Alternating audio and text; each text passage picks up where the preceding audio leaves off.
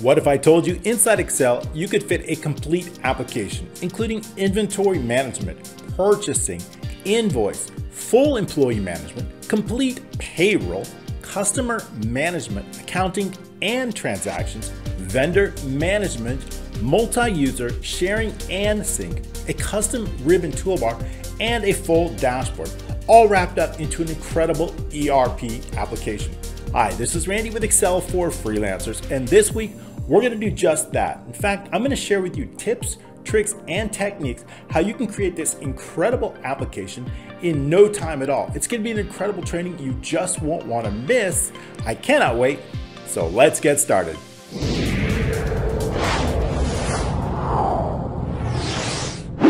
This is probably one of the biggest and best applications I have ever shared on YouTube, and I'm going to show you how you can make it yourself or customize it.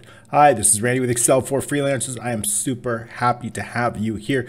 This incredible application is an ERP Ultimate application. Users, invoices, purchase orders, employees, payroll, customers, vendors, products, transactions, and a whole lot more along with the complete dashboard. And I'm going to show you how to create this really cool custom toolbar. All right, thanks so much. It's gonna be great. If you do like these trainings, I create these each and every Tuesday. Just ask a few things. Just go ahead and click on like subscribe, and of course that notification icon bell. That'll ensure that you get these each and every Tuesday. This template is absolutely free.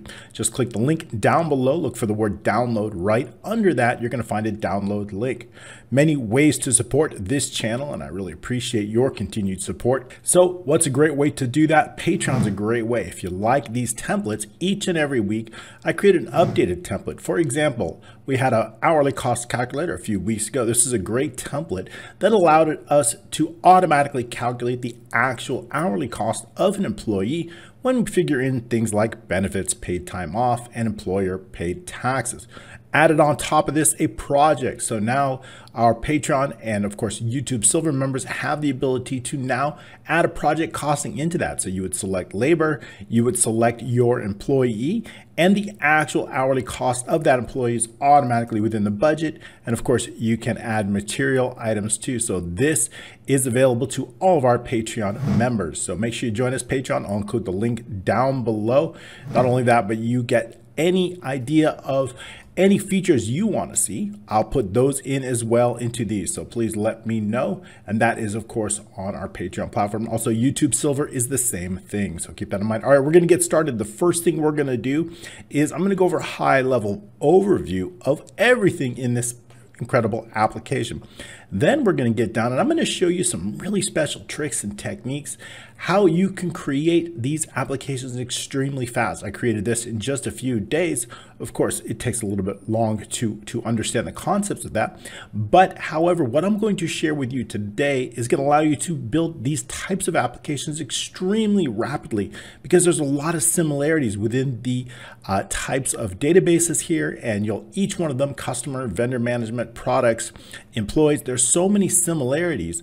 And so understanding those and bringing those into your applications, you're going to be able to develop them extremely rapidly. And of course, there's some great uniformity. And of course, also this is sharing in sync. And that means that this type of application can be shared in sync among users.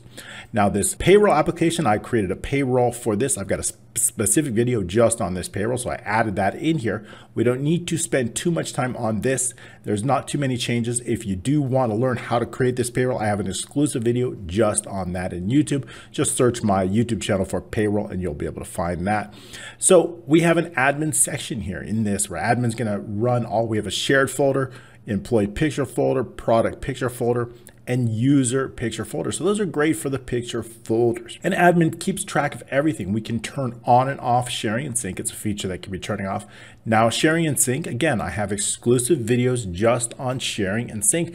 It allows you to take your application and share and sync among anyone in the world. The idea is relatively simple. Each individual user has their own template, their own unique template, and only the data is shared between users using a shared folder such as Dropbox, Google Drive, or the Microsoft OneDrive. So some really great options on that. The, a lot of these have to do with payroll And we also have transactions. So you're going to be able to add transactions into there. If you want to add a new transaction, you can simply add brand new transactions. If you want to edit any existing transaction, you can do so here. So you'll see some similarities, whether it is transactions or whether it is vendors, right? So there's so many similarities in here and you can simply duplicate the code and then modify it. And I'm going to show you exactly how to do that. So whether it's employees, payroll, customers, vendors, they're all very, very similar. Each one of them does have a search.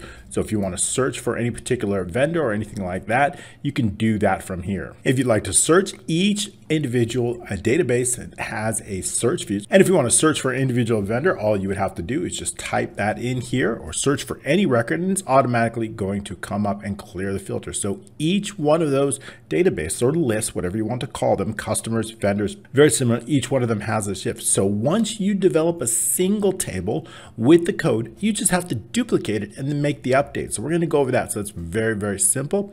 We have an incredible dashboard here. We have also some great slices of what we can do. We're going to be adding in those.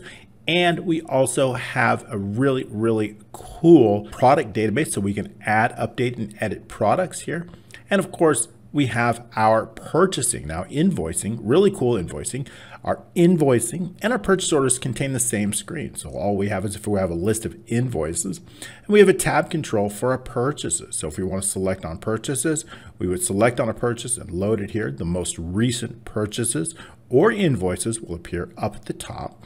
Creating brand new purchase orders or invoices is relatively easy. All we would need to do is just click new and then we'd enter a customer. If it's an invoice, we'd enter that customer here.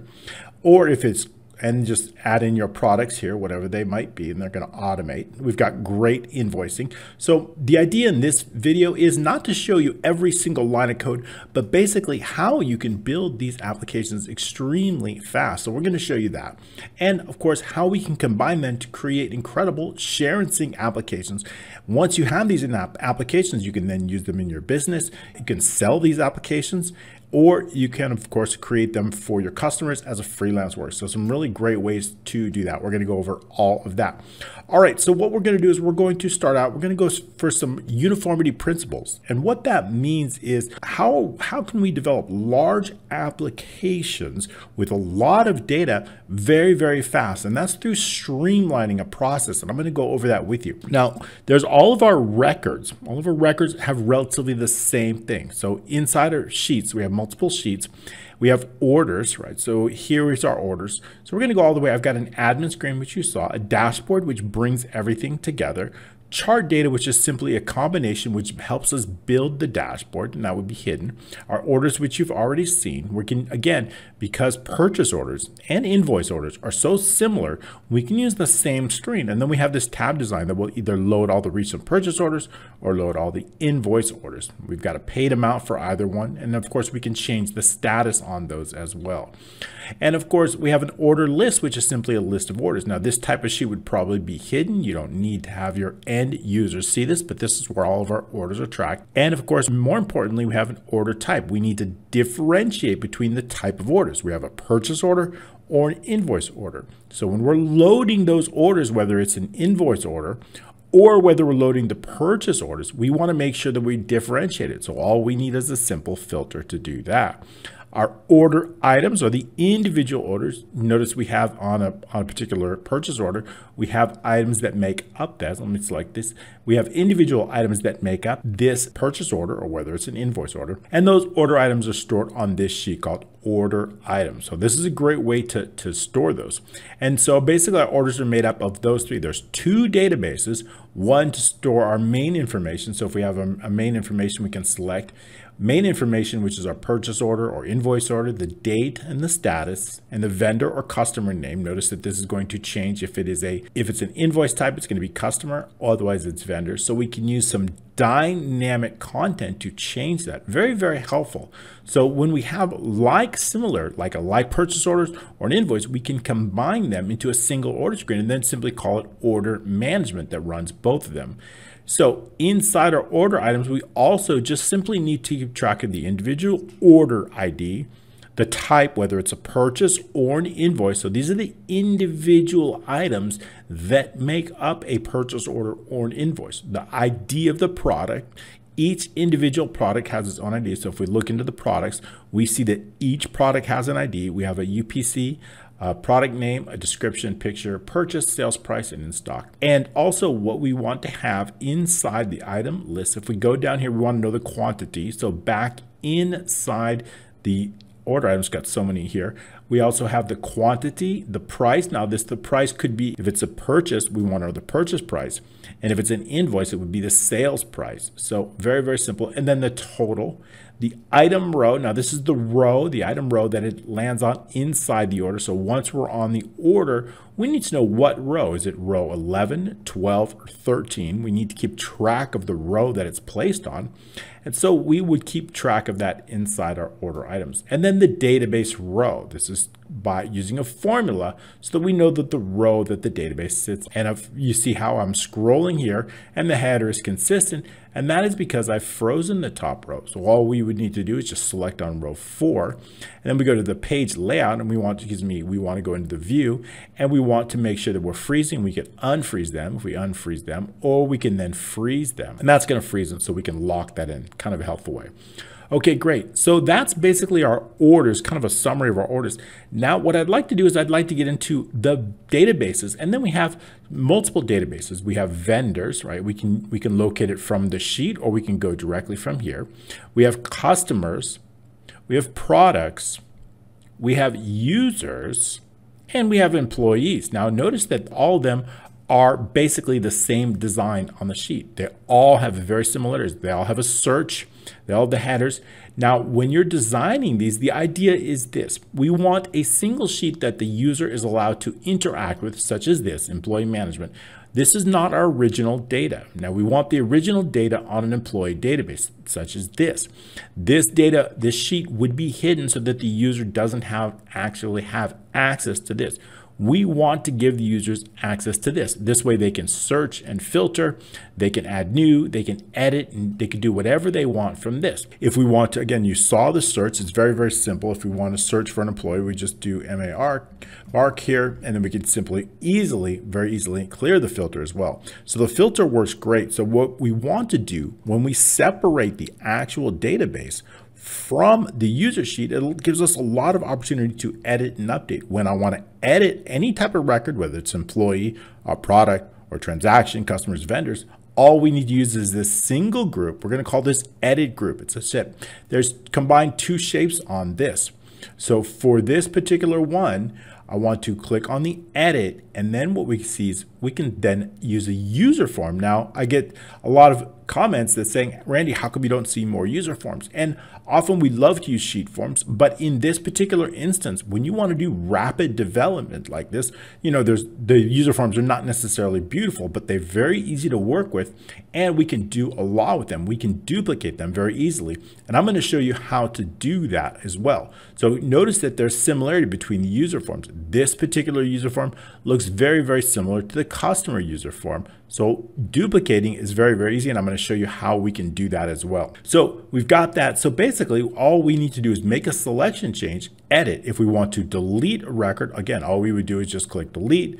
And we, if we want to delete it, we would just click yes. In this case, we'll do no. We want to add a brand new record, whether it's a customer vendor, we can do this simply within the user form. So what I'd like to do is I'd like to drill down into this to see how we're able to develop these very, very fast applications using these types of sheets with that. And so keep in mind that each individual sheet has their own employees, has their own employee database.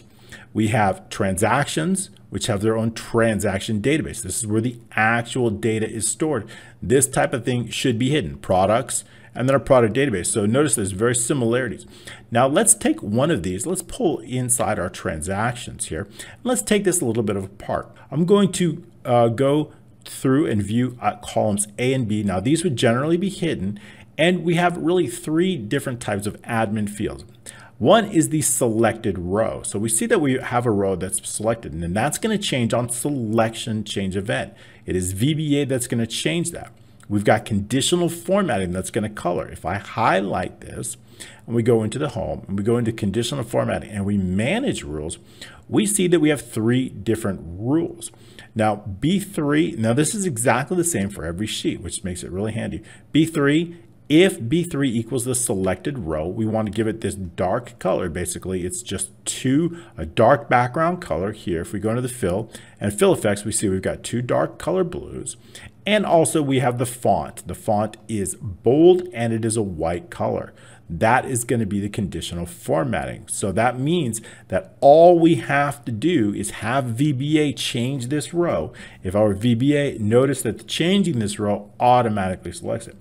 Also, in each instance, notice that there's an original database. So for example, transactions here, if you take a look, you see it says lunch with Fred here, meals and expense. If I take a look inside the transaction database and I take a look at row seven of the database, that is the same record, transaction ID four, lunch with Fred.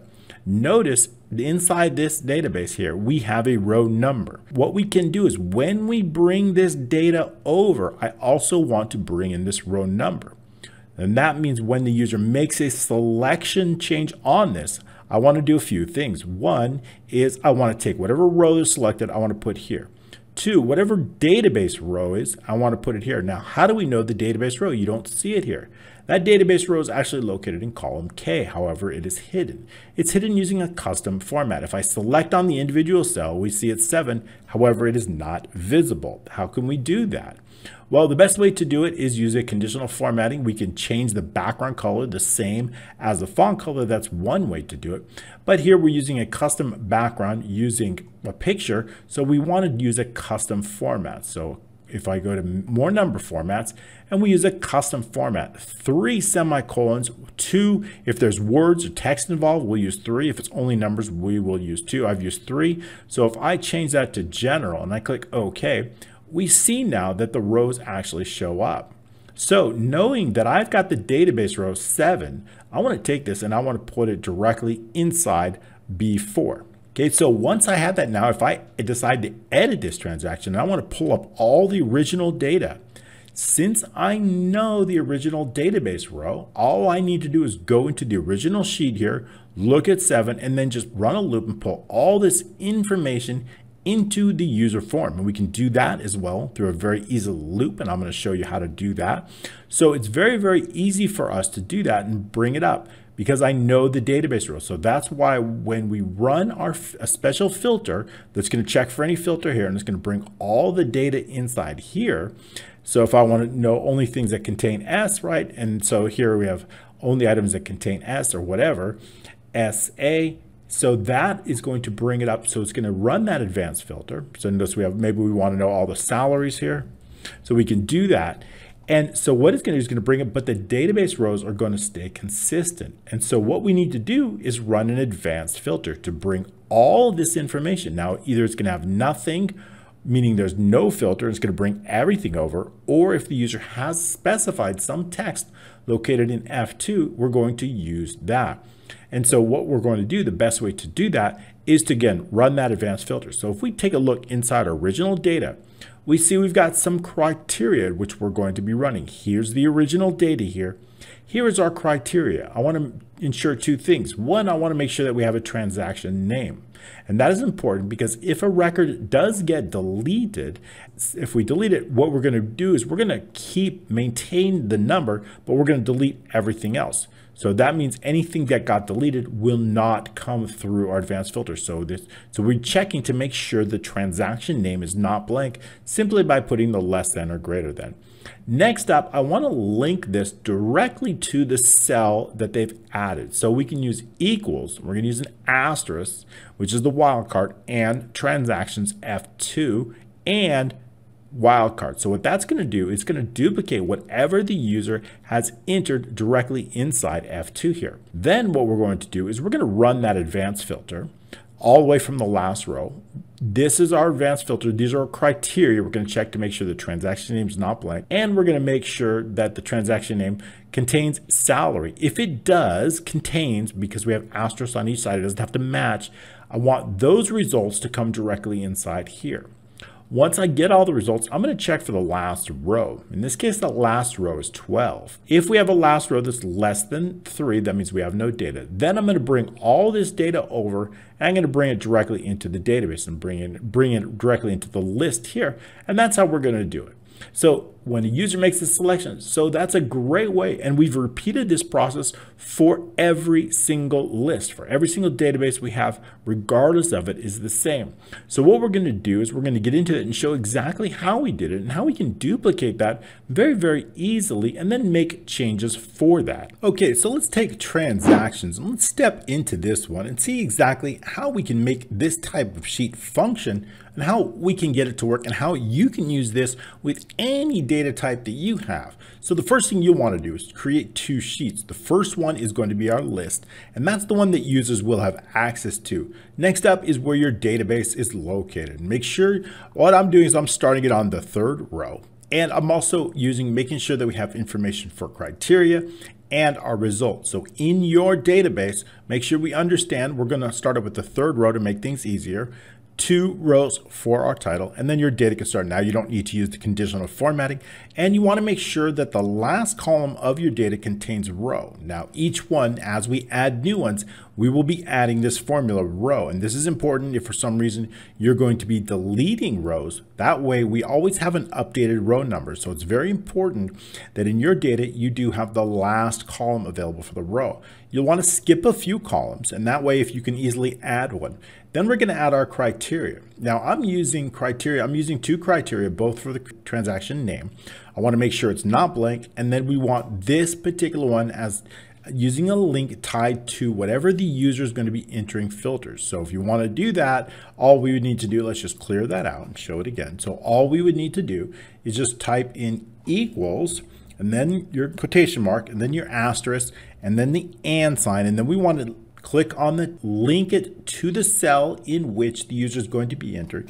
Then we're going to type in another and sign. Then we want another asterisk. And the reason we're adding the wildcards before and after is because I want the user search to contain anything the user now if we want an exact match we will not be adding the asterisk before or after if we wanted to start with that we would only add the asterisk after so those are the wildcards Okay, so then through our VBA, which we're going to use this criteria, and we want the result to come here.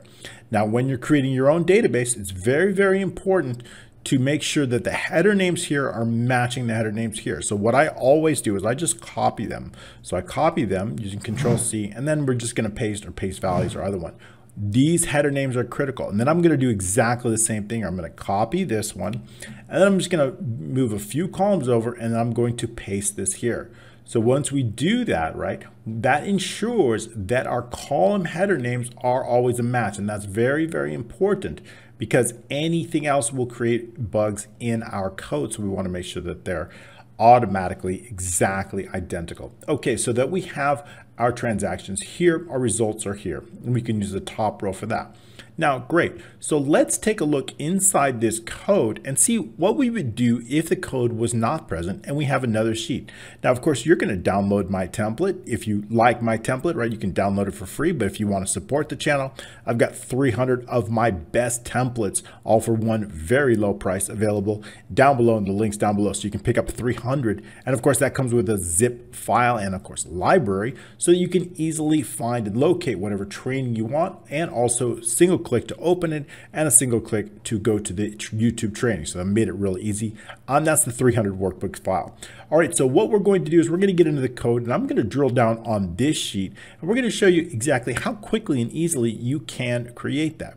Now to keep in mind what you would want to do, let's say you're creating this, you want to copy this shape here. Now, once you copy this from what we want to do is we want to clear out the macros. So what these are is basically, if I were to zoom in in here and take a look, basically it's just two, it's a background here and an icon. So it's just very, very simple. So that's all we have to do. So maybe just two backgrounds, a background here, just a square background along with an icon, same thing there. So very, very easily, we can create those shapes. And we've tied macros to those shapes, and I'll be getting to those in just a moment. But we're gonna go step by step so that you can understand how you can easily duplicate this process inside your own workbook to create really amazing workbooks and applications in very, very little time. Okay, so what we're gonna do is we're gonna go into the VBA. You can go into the developer. If you don't have the developer, you can find it here just go into the options and then what you'll want to do is you'll go to the customize the ribbon and you want to make sure the developer is selected. You can also use a shortcut to get in there. Alt F11 is the shortcut and that's going to get you right into this. Okay, so we've got a lot of sheets and a lot of code on this, but don't worry, I'm going to walk you step by step. In fact, because of the similarities, we don't need to go over everything because it would just be repeating. And that's the beauty of an application like this is because once we understand the principles, we can duplicate those principles to create create any side of an application in very little time. So what we were on is we have so we have some code that's inside the sheet. Now this is if we take a look, here's our sheets here, and I've got one called transactions. I've got just a little bit of code inside our transactions. Then what we do is we have a module of transactions and we've got some there. So it's very, very easy. So what I'm going to do is I'm going to just, let's try this. Let's see how it works. I'm going to delete this. I'm going to delete all the code here and I'm going to, so nothing's going to work. And I'm going to go into the transaction database and I'm going to delete the code here. So now let's assume you have my workbook and you want to make it your own. Okay, so nothing's going to work. It's going to create a bug. Nothing. Notice the selection change. Nothing's happening because I've deleted all the macros. So, you know, if I click here, it's not going to find the macro. The macro is no longer there because of course, we deleted it, but that's fine. And that's exactly what I want to do because I want to show you how quickly you can do this yourself. And we can use copy and paste and then replace to make it very, very quickly. So let's say you grab my workbook and you have my code in there, but you want to customize it for your workbook. So let's go into, let's say the product macros. So we have all the product macros. So whatever, whatever sheet you have of mine, you're going to do control A, copy it, and then control C. So what I'm going to do is I'm going to put this inside and replace it. Control V. Now, obviously, this code is customized for our product sheet, so it will not work on our transaction sheet, right? So what we have to do is we have to customize it for that. So what we need to do is we need to use find and replace to change it. Notice this one has product sheets and we also have something called products database. So this is specifically for our products. So notice products database. So what I want to do is I want to then change it. So for the first thing, what we want to do is we want to change the sheet name. So I'm going to look anywhere that says, let's change the sheet name. So I'm going to use control F and we notice here's the find and we're going to click on replace. So I'm going to change products with what? If we take a look inside our transactions, what is the sheet name? We're using the sheet code name. It's called transactions. So the first thing we want to do is use transactions and then period. Okay, well, let's cancel that and do that one more time just so we can set it up. Okay, so once we have that, let's do products here. And we can just select it because it it's already here. Replacing that and then bringing that up here, it always moves. Print with transactions, okay? Tran, make sure we get the spelling right. And then we'll just do current module. Make sure you're on the current module, not the current project, okay? So current module, and then just click replace all, okay? All right, so it's been 11. So we have that. So we see that, and actually I did transactions, should be transactions. So we got to update that one more time. Transactions and replace all. So that's the sheet name. Once we have that, now we want to replace the database. Notice that it says we still have product. We've got a lot of few to change. Next up, notice the products sheet here. So we have one that's called product database, product database.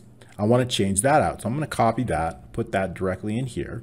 And I also want to change that to the transaction. So I'm going to look on the sheet here and we see that we have one called transdb, transdb. So we're going to replace it. Our database sheet needs to be transdb and then period. So we're going to replace all of those. Okay, and clicking mm-hmm. OK. All right, very good. Now what I want to do is I want to replace some of the names, just the general the names. So we're going to do transactions.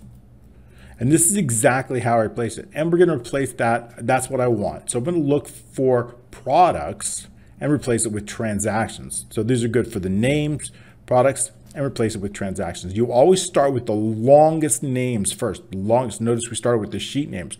And then we go down to the smaller names. So we're going to use replace all. Okay, so one replacement, that's fine.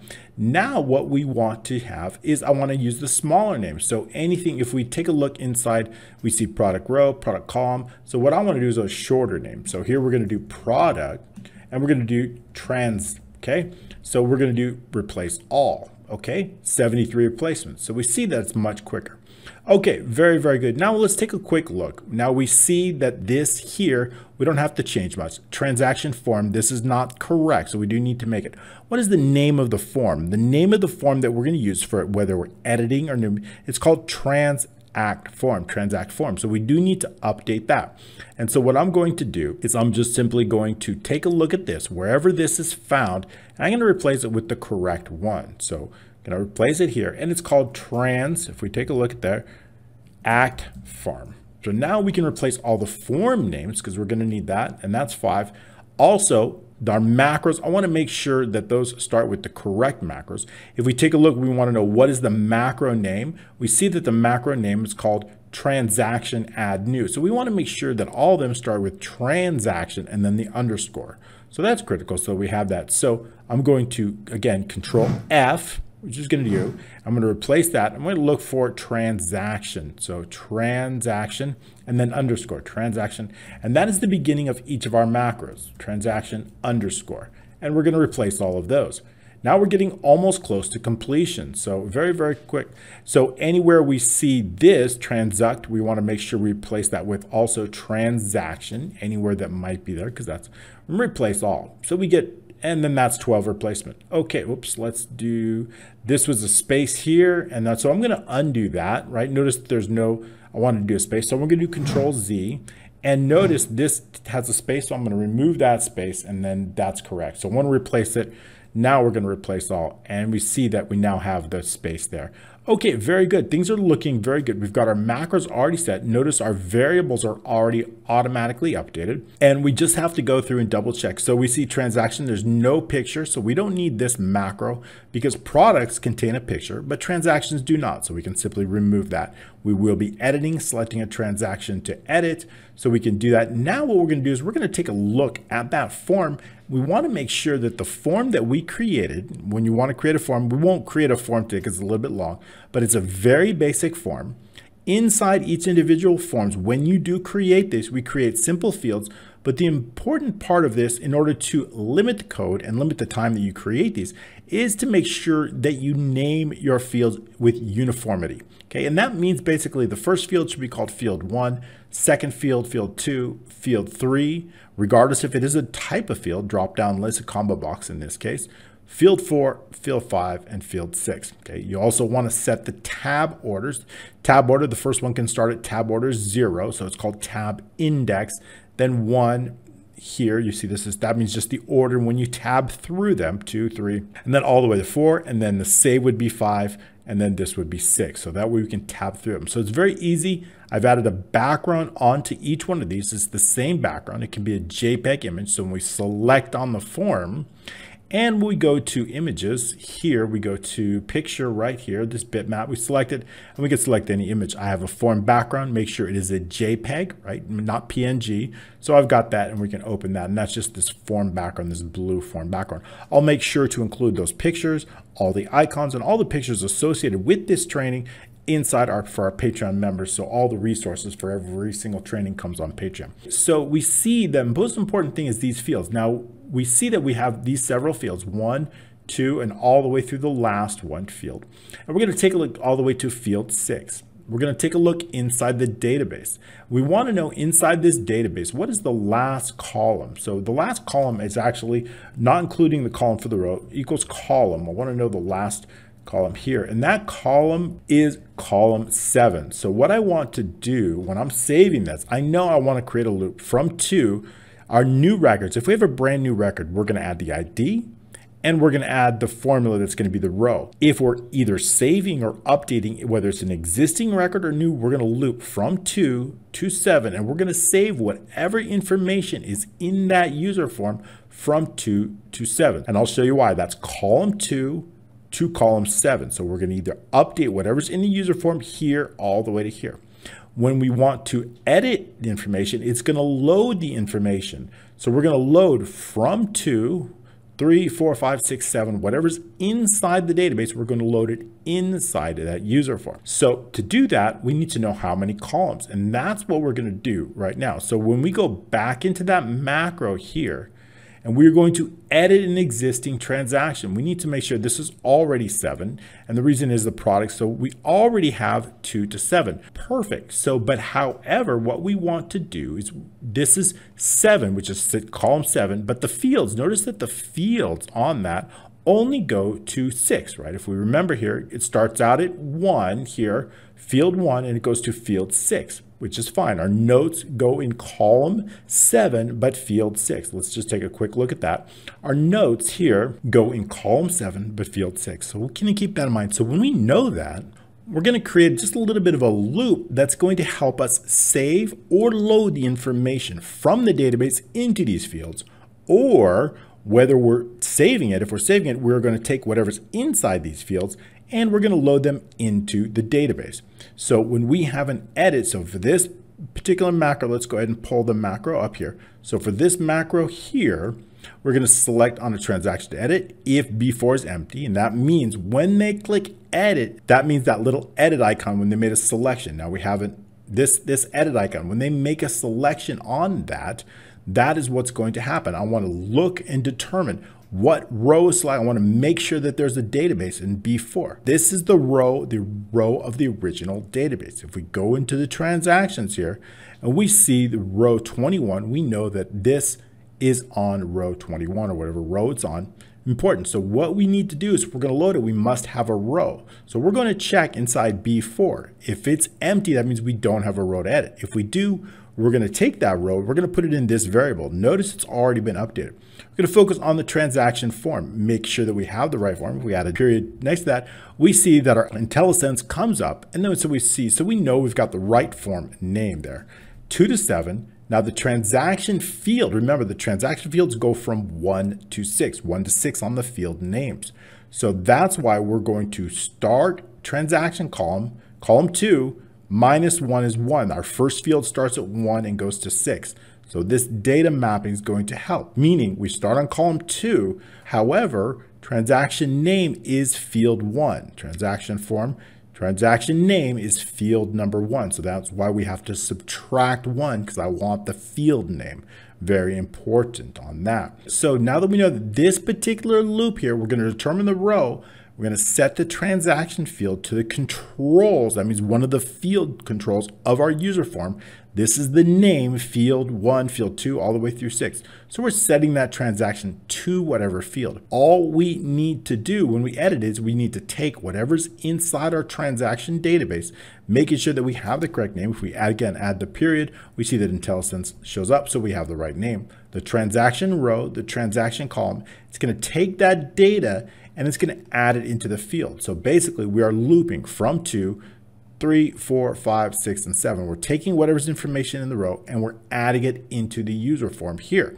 The last thing is we're going to display the user form. Perfect. Then all we need to do is tie this particular macro to the edit icon. So when I select on here, that edit icon is going to do that. So when I select on here, notice it already works, you see, because we'd previously tied it to that. Now, if it's a little bit hard and you're not sure how to tie a macro to this, we're going to click on the selection chain, selection panel because we have them grouped and they're kind of small. So here we have the edit group here, edit icon and edit background. We have the delete icon and delete background, but I may want to tie a macro to this. So I'm just going to use the selection pane to hold down my control and select both of them. Then what I'm going to do is I'm going to right click and I'm going to click assign macro. And then all I need to do is just go down here look for a transaction here and then edit and then select it. And that's all I need to do. And I would do this same for the delete. Okay, very, very good. So we see that we the editing is now working. We can skip down, transaction, save or update. Again, please make sure to add transaction, everything and making sure that there's a value in field one. When the, when the form is open, we need to make sure there's a value. If I need to determine, now regardless of the type, so keep that in mind, that regardless of the list, everything's always in the same, meaning when we have an employees, right, if we take a look over, I'm also using exactly the same three cells. When I have in my customers, I'm using the exact thing, the selected row, the customer database row, and of course, we have the next customer ID, which we haven't gotten to yet. So it's the same thing, right? So the next, in this case, it's next transaction ID, which we'll get to in just a moment. As we moved it. But the first thing what I want to do is when I'm saving it, so now the macro that we're tying to this is called save or update. It is the same macro whether we are saving a new transaction or whether we are uh, updating an existing transaction. So it's exactly the same macro, and that makes things very easy. We need to make sure that with that form, that transaction form, we want to make sure that they've entered something in that. If they try to uh, save, right, let's take, if they decide to add a new transaction and they save it, we need to let them know, oops, variable transaction database. Okay, so transaction, that should be, so notice that the database we did was incorrect. It's trans database. So I'm just going to use control F Instead of transaction database, I'm going to replace it to trans database. So that's fine. So notice it didn't recognize that. We didn't get the sheet. Replace all. Very, very simple. Just two replacements. Very good. So now what we're going to do is I want to make sure that we get this message when I try to save it. Some. If transaction name has not been entered, please make sure to add a transaction name before saving. And that is because our first field, field one right here, is empty. So that's what we're checking on the first. I'm checking if field value is empty. Please make sure to add transaction before saving. Transactions, our sheet B4 equals empty. If B4, when I click add a new transaction, I am going to automatically select it. And I'll show you now. Let's get that selection change while we're at it. I want to make sure, notice that we deleted the code. Nothing's going to happen here. So let's do that. Now, because we create some uniformity, all we need to do is just take on any other sheet, copy what we have there, go back into the transaction. You can copy mine once you download it and then just paste it right in here. Okay, so we do need to make a few things, right? If there's a change for filtering, filter, I want to double check that that's the right row. F2 is correct. So here in transaction, if there's a change, what are we going to do? We are going to not going to be vendor refresh. I'm going to, I think it's transaction refresh, transaction. But what I'm going to do is I'm going to use lowercase. And if if the T goes to capitals, I know I've got the right macro name, and it did, right? If for some reason it's wrong, right, notice it stays there. So that's a great way of seeing if you've got the right macro name. So transaction refresh. So notice that all I had to do was replace this, transaction refresh, and that's the macro that's going to refresh the list. Okay, great. So that works. Now on selection change, notice the edit group. It's the same name, regardless of whatever sheet. For example, let's go into the customers here. This set of shape is always called edit group. Regardless of the sheet that you're on, I give the name the same. And that means I don't have to change the code. It's always the same. The only thing that I have to change is the column. This appears in column L, this edit group. However, inside our transactions here, what column are we going to place? This is going to be column K. I want it to appear in column K. So I need to make sure that we're going to update that for column K. So let's go. So if for some reason the edit group is visible, I'm going to hide it with this line. So that's the first thing. And that's going to all happen on selection change. If the user makes a selection change of a lot of cells, we're going to exit this sub. Again, if the group is visible, we're going to hide it. If the user makes change from D4 through K, now I do need to update that. So we're on transactions. They're going to make a selection all the way through J, right? K, they're not going to be selecting. So we're going to change this to J. Then also we want, and we want to make sure that D contains a value, which is correct, which is our transaction ID. So that is good. That means if they select something else, nothing's going to happen. So now we want that edit group to appear in the last column, beyond one column beyond the last one, which is column K. So all I need to do is change this to K here. And then what I want to do is change this to K. Now, what are those? First thing is I want to know the selected row when the user makes a selection change. Whatever row that they've selected, we're going to put that in cell B3, regardless of the sheet. That is our selected row. B4 is going to take on what? Where is that database row? That's located in column K. So we do need to update that. We see that database row, set the database row, and that's going to go in B4. Now with the edit group, always the same name, I'm going to place that in column K. That's all we need to do. That's all the edit we need to do. And now when we select it, we see we've got everything working. And of course, we would hide this, and I'll show you that in a bit, but we'll keep it open. So now everything's working perfectly. Notice with just a little bit of edit. So we don't need to make any other changes to this worksheet code. We were focused here on the transaction. So let's go back into the transactions here. So save and update is where we were. Now what we want to do is we want to differentiate. We know we've got a value here. We want to differentiate. So B4, now we understand how B4 contains a value. But if I click add new, one of the few first things that I do inside the macro is I clear out B4. Notice there's no database row. There's also no selected row. So that's going to let the VBA know that this must be a new transaction because there is nothing in B4. As soon as I select on something, B4 becomes populated. So if B4 equals empty, we know it's a new transaction. Now, again, this is for any type of database. I'm using the same exact three fields. So the first thing what I want to do inside is, I know it's a new transaction, so I want to go into the transaction database and I want to get the first available row. So let's take a look inside the transaction database. Regardless of the database, we want that first available row, 88 in this case. So what I want to do is I want to put that in a variable called transaction row. And that's our first available row. Then what I want to do is I want to determine the next transaction ID.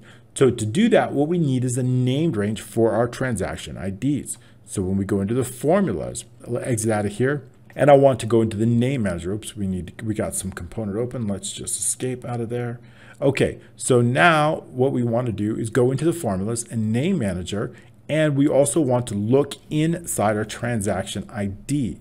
So we created a name using our offset, and that's a dynamic named range. So when I tab there, we see if we zoom in transaction database, we're starting on the header row. That's important because if there's no data, it could create an error. So I always want to start on the header row, which is row three, and I want to go one row down, offset one row down. That's our starting position. We're not going to move any columns over, and I want to determine the number of rows to count. We're going to use count A. Once again, we're also going to start on our header row. We're going to go up to a large number. But of course, we don't want to actually include that header row. So we're going to use minus one. And we just want a single column. So if we tab using the tab keys into that, we see that this encompasses all of our data, the dancing ants around it. So since they are all numbers, and I want to determine the next available row, the next available ID, how do I do that? Inside the transactions, what I can use is use the max function here with the transaction ID. So this, of course, is going to result, if I highlight over here, that is going to result in 84, as we can see. Plus 1 is going to be 85. And if there's no data, it will create an error. Therefore, we've wrapped it an if error, and we're going to default it to 1, meaning that would be the first ID number. Okay, great. So we see that. That's going to be, so what I want to do is I want to take that and I want to put it in the first available row. So A in the transaction row is going to take, take on B5. That is the next transaction ID into transactions B5. So that's all we need to do. Just take whatever that next available and put it directly in A.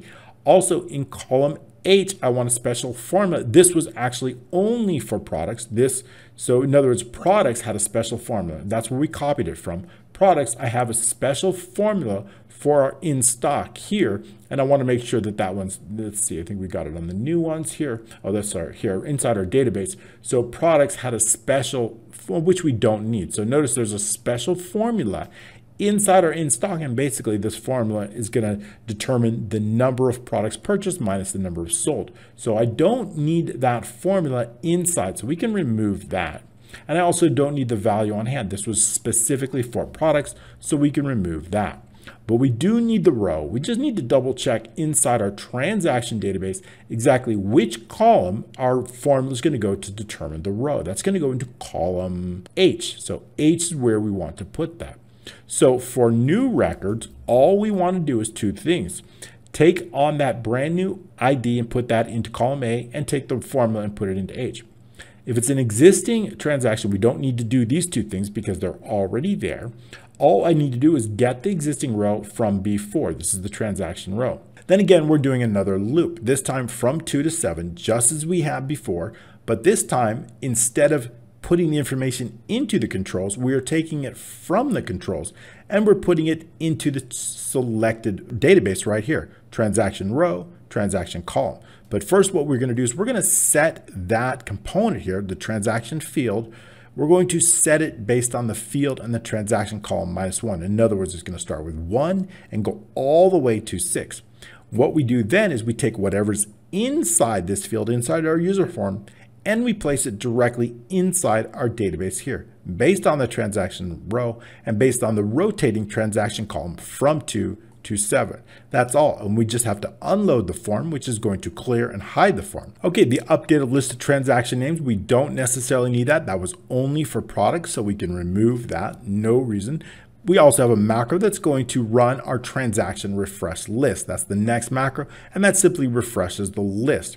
Okay, very good. So we understand that. Let's take a look and see how that will work. The next macro, transaction clear filter, is basically designed to run to clear the filter. So all we need to do is select this button. It is this button. If we select on any individual component inside this, and we click assign macro, we see that transaction clear filter has been assigned to that. Now, we have a change event, and when we make a change to F2, something is going to run. Now, we briefly covered it. I'm going to take another look at it with you. Inside our sheet here, transaction sheets, worksheet change event. When we make a change to F2, we want something to run, transaction refresh list. This is the exact same macro that we just saw here, and it's also the same macro that's gonna run when we save or update a transaction. Now, the good thing is that we don't have to run it. When we clear the filter, we're gonna clear uh, the merge cell F2 through H2. Let's double check on that. F2, it's actually G2, right? It doesn't cover H. So I'm gonna update that F2 to G2. So let's make the change here, G2. So when we run that, it's automatically going to trigger this macro right here because any change on F2 is gonna trigger that right here any change on F2 will trigger the refresh. So even when we clear the contents with another macro, it's going to work. So if I select this, it's going to clear the macro and it's going to run that. Will it return no data? I guess we certainly gonna have to make some updates to this refresh list. Remember, we haven't been over this yet. We do need to make updates. The first thing we're going to do transaction D4 through M4. Let's make sure that that is correct. We don't need to go all the way through column M. We only need to go through column K if we see that. So we can change this to K. Okay, very good. The last row is going to be based on A, based on the transaction database. That's all correct. Now let's take a look at our advanced filter. We will have to make some updates for that to get that working. So we're to go into the transaction database. We can close this. We see that our original data is going to go to column H. So we're going to make that update, column H. Now, what about our criteria? Our criteria is M2 through N3. That doesn't necessarily need to change. That looks good. However, our results need to be corrected. If we take a look, remember we copied this from the product, so we do need to make those updates. Our results are going to come Q2 through X, all the way Q2 through X. So let's make that update here. Q2, changing that here, and then through X. We also need to determine the last results row. We can use column Q for that. I wanted to determine the last results row. And using control, shift, and down arrow, we can see the last one is 86. So we're gonna use column Q to determine that inside the code. So going back here, that last, I'm gonna change this, the last results row, changing this to Q. Okay, so now what we'd like to do, we're gonna turn off if the last results row is less than three, we're gonna turn back on application screen updating and we're gonna exit this up, meaning that we have no results. And what I'd like to do is I would like to also sort these. Now, what do I wanna sort them on? We'll sort them based on the transaction ID to make sure that they are sorted. And that transaction ID is located in Q, column Q. So we're gonna focus on the sort. If there's only one row of data, meaning the last row is less than four, there's no need to sort because we only have one row. We can skip it and we can go to no sort right here. However, if we have more than one row, we can continue on with the sort. So we're going to focus on Q, which is our ID. So that's what's going to be, and I want it ascending. Our range, we're going to update that range. Going to make that to from Q all the way through X. Very good. Now what we want to do is we're ready. Our data is now sorted. It is ready to be brought over. We're going to look at, if we look, what columns do we want it brought over? We want it brought over starting in column D all the way through column K. So we're going to go change this to D and not M. We're going to change this to K. And where is it coming from? It's coming from columns Q through X. So we just need to make the updates here. Q, oops, there we go through X and then changing it there. Okay, very good. So now we're going to select F2, that is the filtering, and then we're going to turn on application screen updating. So now when we go into the transactions and we clear that filter, automatically that data will come in. Perfect. If I want to add in a filter to make sure it's working and we see that the rents, Very, very good. So we see how it doesn't take very long to make the updates. Let's take a look at D delete. That's the last macro. And that is the macro that's also tied to this. So again, when I select on this, we tied it to that delete button. It's going to ask us if we want to delete the transaction. So we're going to take a quick look at that. Now we know when we select on something, we know what row we're deleting or clearing out because it is located in B4. So we're going to take a look. We want to make sure to give the user an opportunity to get out. So the first thing we're going to do is say, are you sure you want to delete this transaction? Notice the word's already been updated in yes, no. If it is no, we're going to exit the sub. If transaction B4 equals empty, that means we have no database row. We can exit out. Once we determine we do have a database row, we're going to put it into a variable called transaction row. Then we're going to run a loop. In fact, I'm going to change this to 8 the reason is I'm going to go to it. Now we could delete an entire row and that's fine too. However, in this instance, in this application, we are using sharing and sync. Now sharing and sync is the ability to share all of your data. Now one of the caveats of doing that is we can, on our original database, we can only change one cell at a time. And the reason is I don't want to delete an entire row because I do not want to have any blank, fully blank rows. And I want to make sure that when we change one cell at a time, those changes are going to be sent to other users. I've got entire training on that. Check with our co-authoring if you want to learn how to do that. I've gone into a lot of detail on how to share and sync. Now that functionality is already inside this application. We may not have a chance to go over it, but I do have a full training on that. But just so you know, this application is fully share and sync ready. So because it is, I'm going to not delete the row. I'm going to clear out from columns two all the way to column 8, clearing out the data. And so to do that, what we want to do is run a loop from 2 to 8, including the row. We're going to take the transaction database, transfer row, column, clear the contents we are going to also clear the contents of B3 and B4 and refresh the list. Very, very simple. So what would that look like? If I want to delete this transaction, let's say monthly salary here, and we'll pull it up here. We see it's this one right here. And I want to delete it. All I would need to do is just click delete. Yes, I want to delete it. What that's going to do is clear it out. And you see now we go skip from one to three. If we take a look inside our transaction database, we see that transaction ID 2 is still here, which is exactly what we want, but everything else has been cleared out. The reason that this does not show up here is because we have transaction name does not equal blank. If the transaction equals blank, we are not going to list it here. So that's why it's important. Notice that it is gone and everything else. Perfect. So that's all we have to do. So we just went through all the macros that we associated. Now, these are the exact same macros except for the names and a few of the columns, right? We've just updated a few of the columns, but everything else, uh, let's take a look at the user macros, vendor macros, customer macros. They're all exactly the same. Employee macros, everything is exactly the same. Pretty, pretty easy. So, so that's how you can easily create this transaction management or any type of database using that list. Then what you'll want to do is two things when you have your list. You're going to go ahead and hide these columns and then what we're going to do is we don't want people to see the row. So again, we're going to set that with a custom format. So we're going to go into general, we're going to change that and we're going to go to a custom format. And in this case, I've got the word row and I've got the row. So I'm to use three semicolons.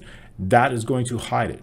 We are now absolutely ready. All we would need to do is lock it down and we are ready, good to go. So that's all we have to do. Okay, very good. What would you like to get into next? How about we go in, we see how we created this very, very cool. I've got, of course, I've got an entire training on this, but I can go over relatively quickly with you. The first thing that you'll need is this Office Ribbon Toolbar. Now, this is a free application, right? I've included it with my toolbar training. You can also search on the internet. It's free to download.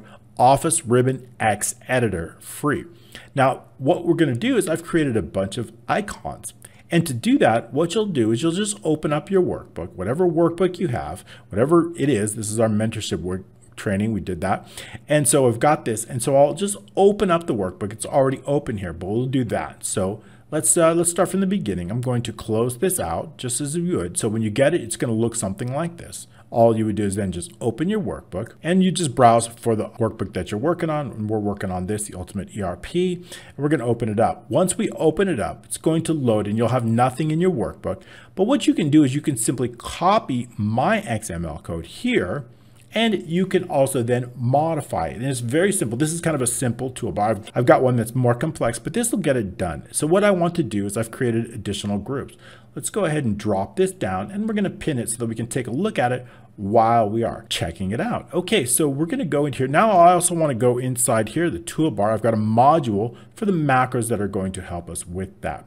So having those things open, we can now see Inside our ribbon editor, we've got some HTML code. So this is always going to be the same. Now, if it's blank, let's just copy this and then I'm going to clear it out. If it's blank like yours would be and you want to start from scratch, you can do this. You can insert, sample, and then we use custom tab. So I basically started, I basically started with this and then I just kind of copied some groups. So we have a tab name, we have a custom tab. It's called Ultimate ERP.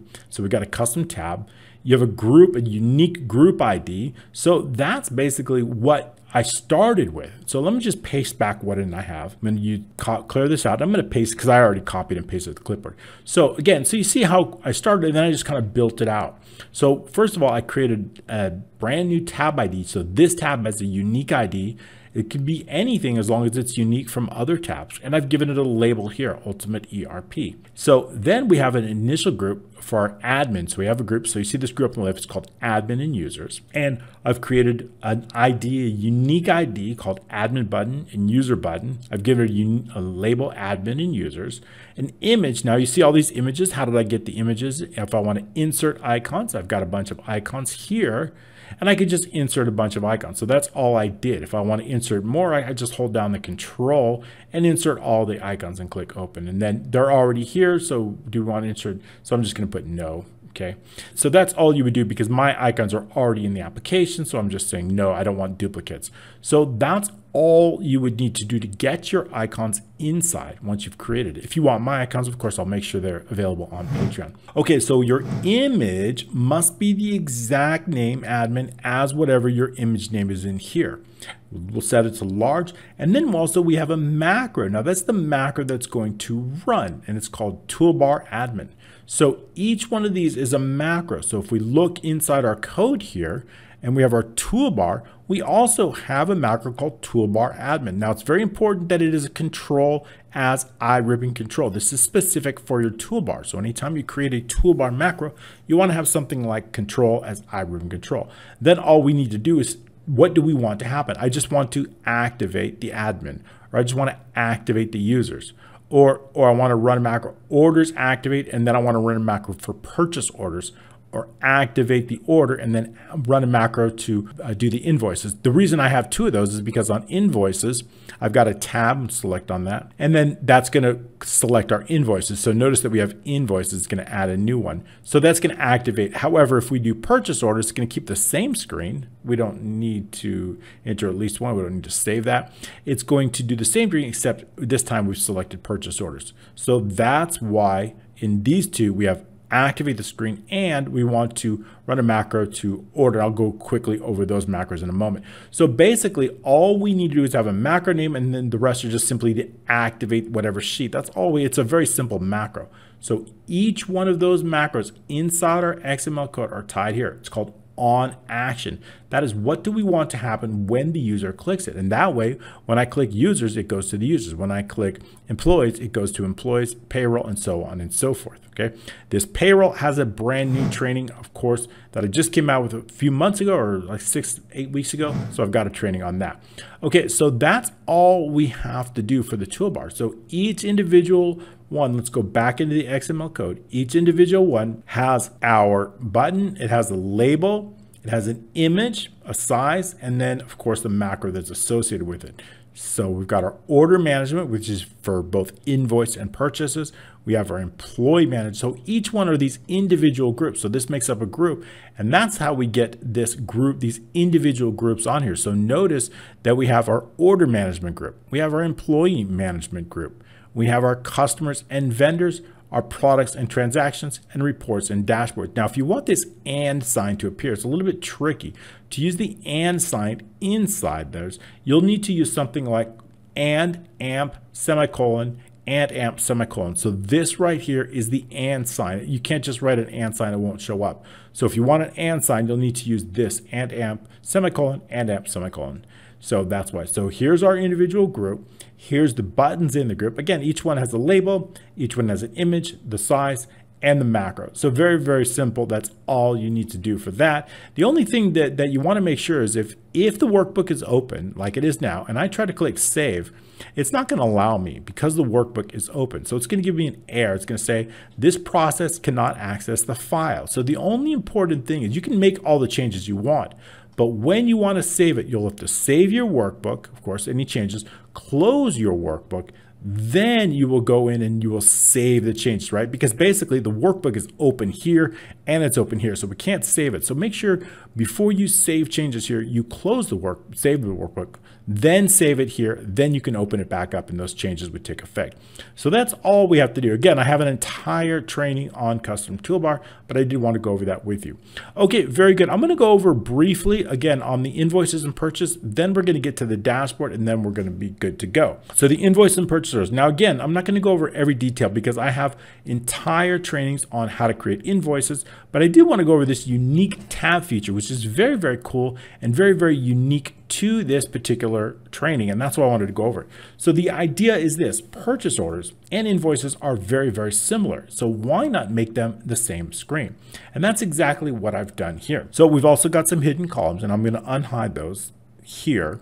And so we've got some very, very unique training. Let's move that over here. So how do we do that? So we've got some information here, whether we're loading an invoice. This is important because if I'm loading, I need to know, if, for example, if I make a change and I add an item, that information needs to automatically update based on that. So I have to know whether we're loading. I have to know what type we're on. Is it order type purchase or is it an invoice? This will change. This icon can move over here. So that's also important. We need to understand that. I want to know what the ID of the order is, what the database row, what is the next available one, the selected order type. I want to know if it's selected purchase, and I want a search order row. That's going to be based on the search order right here. And I want to know the selected order row here. That's the selected. So you use conditional formatting. Notice we've selected row 15. And I want to know the customer vendor database row. So basically, if I've selected a vendor here, it is going to be a vendor. Now keep this in mind that if we're on invoice orders, and we, you'll see that it is now a customer. So this has been changed. So basically everything is based on what is in B2. When I select the tab, it saves the current one and it, does add new. So that's kind of important. So keep that in mind. I'm gonna get rid of this. I, I, don't think we need to select this. So what it's doing is selecting this and it's moving it over here, selecting Q. I really don't need that. I'll select something else, probably K6 on add new. I think that's a good idea. We're gonna make that update in a moment. So what I want to do is I want to know that selected customer vendor. So to make sure if we have one, that customer here, I want to know the row associated with that. And I've got named ranges, some named ranges, one for customer name, and I've got one for vendor name. So basically, we're going to look to B2. B2 is going to either be invoice or it's going to be purchased based on the selected tab. Now, what we're going to do is we're going to run a match based on K6. And if it's an invoice, we're looking for a customer if it's a purchase, we're looking for a vendor. So we can use the same cell and it's going to return the database row that that customer or vendor was located on. And that's important because when I decide to load the street and I want to load the address information, I need to know what row it's on. Okay, very good. So we kind of understand a good amount of this. Now let's take a look at this really cool tab feature and how does that happen? I want to go into the macro. So what we're going to do is we're going to right click here. We're going to assign the macro and we see that it's called order tab PO, purchase order. So we're going to edit that.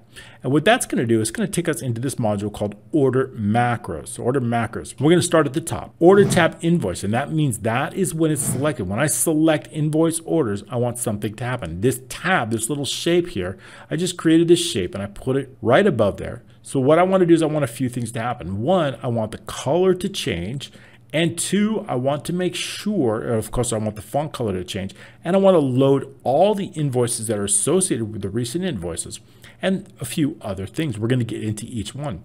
So the first thing, this is called invoice tab. The name of this shape here is called invoice tab, as we can see right here. So we see that. Now, the first thing what I want to do is I want to change it to that light blue background. So focusing on this shape, Fill for color, we're going to set the RGB to 198, 229, and 243. How do we know those colors? If I right click this shape, let's get out of here. I'm going to escape out of here. Okay. Then we're going to go in here. I'm going to go into the actually format the shape and we're going to go into the fill and we're going to go into more fill colors and we see that 198, 229, and 243. So we're going to grab that those colors directly from the RGB values here and we are going to place them directly inside VBA here. So once you have a color here, the RGB 198, 229, 243, this is the font color. Let's take a look at this. So the font color, font color is dark blue, font color, dark blue. Okay, so the text frame, text range, font fill for color. So this is the font color. We're also going to give it a very specific color based on that. So I want that selected. So if we see the text fill, and we go into the more colors, we see 47, 85, 151. 47, 85, 151, which is the same one here, 47, 85, 151. So that's that dark blue font. Okay, but what about the other tab? That's the PO tab. I also want to give that a color, which is our unselected color which is the white font and that, oops, I selected it. So we can see regardless of what we select, we are automatically going to change it to that dark blue. Let's select it again. So that dark blue, again, I want to use that dark blue as a background and the white font. This is for our purchase. So to do that, focusing on that PO tab, this time we're going to give it that dark blue background. So the same color, but this time we're going to use that color as a background, that background. And the text is going to give it that white font. White font is RGB 255, 255, 255. That's the white font. So that's how we get the look. But then what I want to do is I want to change B2 to invoice. That's going to say, then what I want to do is I want to know if B4 does not equal empty, if we have a selected, then I want to do order, save, and update. And basically what that means is if I've selected an order, I want to make sure that if there's any changes, we're going to update that so it doesn't keep moving out to the right. That means if B4, there's an active invoice or active purchase order, I want to make sure that we're saving it just in case because I don't want to clear it out if the user has not saved it. I want to make sure to save it for them. So we're going to save it. We're going to update the customer name validation. I want to delete it. I want to make sure that this data validation here, looking K4, if we see that, let's select it again, make sure that we have the data validation here. I want to make sure that we've updated it to the customers or inside the purchase orders to the customers. So how do we do that? Well, if we take a look inside the data validation, we see we have a list of customers here or otherwise, if we select purchase orders, we need to make sure that we have an updated validation for the purchase orders here. So we have our, our vendor list here. So this data validation is going to change based on that.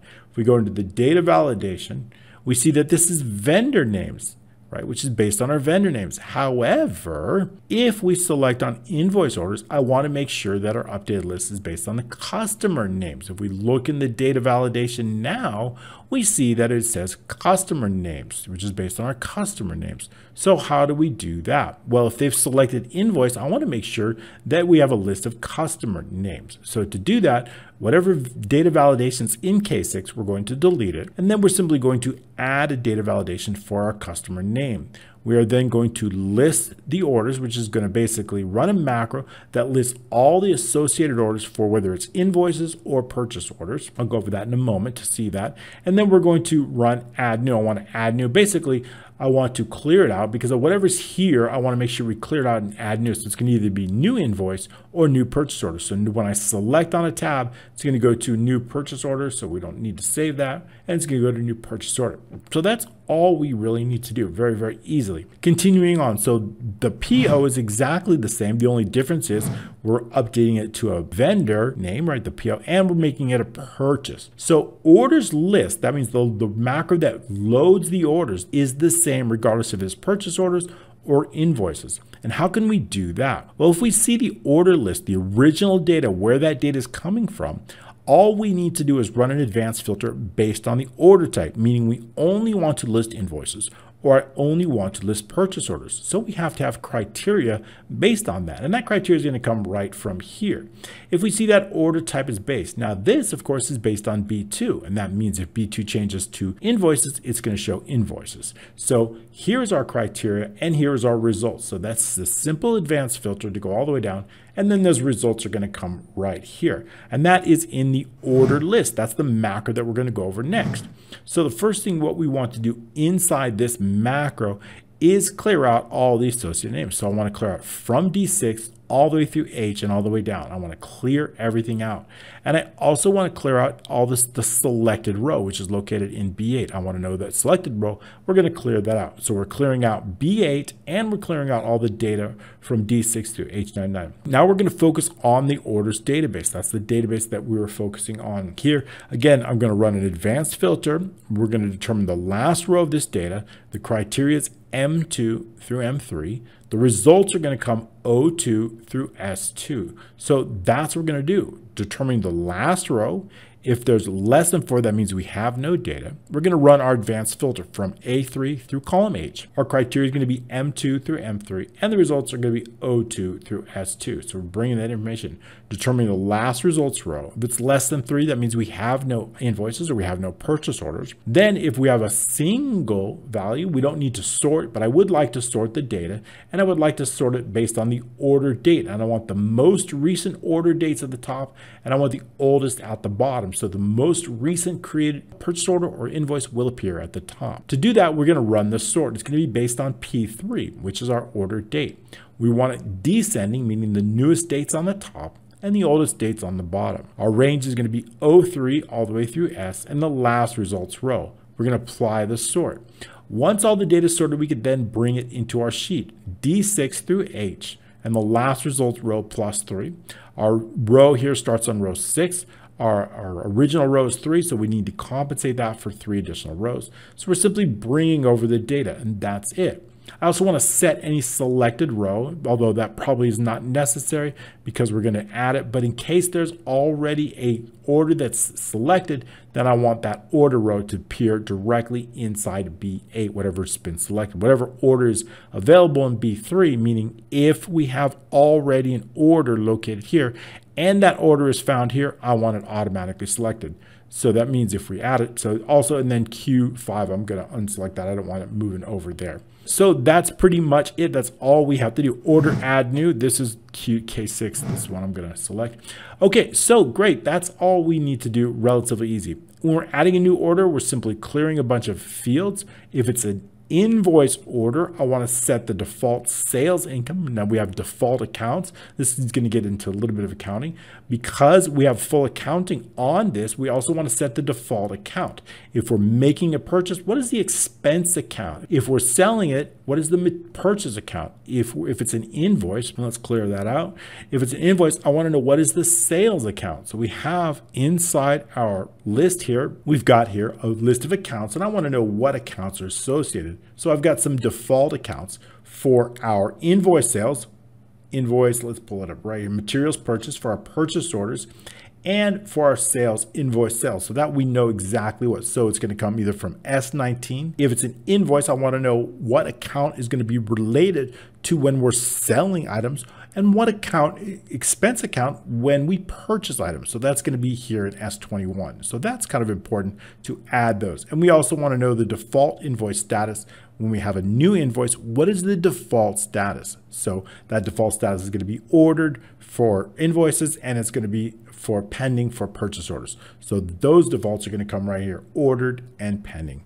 All right, very good. So I'm glad we got that. So orders is relatively simple. When we make a change on a product, that description information, we don't need necessarily need to go into this because these are things that I've gone over much more detail on very specific invoice training. But that is it. Save, update, new order, print order, and delete order, all very, very similar. Okay, very good. Now, lastly, what I'd like to do is I'd like to get inside the dashboard and give you some uh, overview on how we created this incredible dashboard. The idea of this dashboard is to give a user a good snapshot of the company health. It covers sales, purchases, payroll, other income, other expenses, cost of goods sold, and a host of other things that are incorporated within this application. So how did we arrive at all this? Well, let's go ahead and start in the upper left. Now what we have is we have sales. Now all I did is create and group a shape. So I've got a single icon here that I've entered, and I've got some text boxes here. Now these text boxes are linked to a sheet, which is our chart data. So what we're gonna do is we're gonna look inside our chart data. So all I did was simply insert shapes, text box, if we were to enter it here, and then we're gonna link it to the chart data. So if I put equals in here, and we go into his chart data, and this is where all of our chart data is located. So if I want information, let's say I want the 2023 sales, and I would just click here and that's automatically. And then of course we would then just format that accordingly. So that's how I arrived at all this information, simply an icon and then linked data. So let's take a look at some of this data. The first switch is the 2023 sales. Now this is dynamic, meaning that when the year changes, so does the values and the text. So let's take a look inside this chart data. And all the information that we're going to focus on at the moment is right here. So the first thing I want is current year sales. Inside the dashboard, we have 2023 and we also have the current month. So I want the current year and I want the current month sales at my fingertips. We can do that here. So the first thing is we want a label. We want a dynamic label because when the year changes, I also want this to change. So to get that, we can use year of today, so the current year, and a space, and then sales. And so what we're doing is we're simply taking the current date, which is today, and we're extracting the year from it, which is going to give us 2023 when this is recorded. So that's all we have to do, then a space and sales. But I also want to know the total sales for that. Now, if we take a look inside, we want to know the amount. What is the amount of those sales?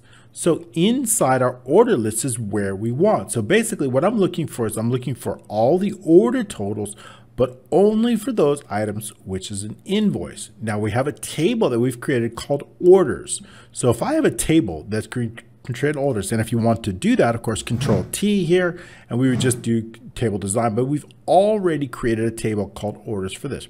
So basically all I need to do is use a sum ifs, and I want to know all the order totals of invoices, but I only want to know them on the current year. So we're going to use sum ifs for that. So let's take a look back inside the chart data and take a look at this formula. Again, we're going to use sum ifs, and I want to use based on the orders and the order total. Now, I often use named ranges, but this time we're using tables. And to get that, all we need to do is just type in orders here. Then we're going to use a bracket here, and then we're going to determine the total. So we're looking for the total. So we just find here, and it's that order total right here. That is what our sum is. So we just select that, and then we close the bracket here. That's what our sum is.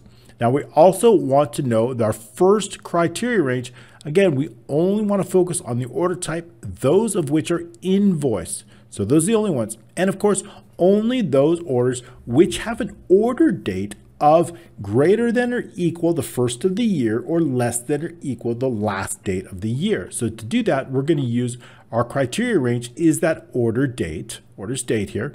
Then what we want to do is we want to make sure that we have greater than or equals, and we want to know the first day of the year. So again, we're going to use the year of the current day. So today is the current date. We're going to extract the year from that, which is 2023. I want January, which is the first month, and I want the first day, which is here. So this is greater than or equal January 1st of the current year. And I also want it less than or equal the last day of the year. So it's going to be based on, again, our criteria, it's the order's date, less than or equal the last day of the year. Again, taking the current year, this time the month is December and the last day. So using all that, we are going to get our amount of 44,743, which is all the total sales. Now what I want to know is I only want to know the month sales. So the first thing is I want a label. So if we take a look inside this cell, it's P6. If we look in our dashboard and we see that our label is connected to P6 and the data value is connected to P7. So to get that, we're going to go here. So again, this time I want the current month. So that month of October, right now it's October. When the month changes, so will that. So to do that, what I want to do is going to use the today once again. But this time I want to use the text of the today, the current day, and I want to use, so this is a date here, but I only want to format that date and I only want to see the months. So only the months. And to do that, we're going to use four M's. That is going to give us the text. So that text here is the month name and a space and sales. So that's exactly how we're going to get it, the month of October. Now, to get the amount, we're going to use something very similar, except we're going to change the dates. Once again, we're going to use sum ifs, and we want to know the orders total. I want to know the total of all those orders. Again, only those which are invoices, and only those, this time, these are based on the first day of the current month until the last day of the current month. So we're going to use greater than or equals the date, we're going to use the current year. This time I want to use the current month number and one, meaning the first. So this right here will get us the first day of the month.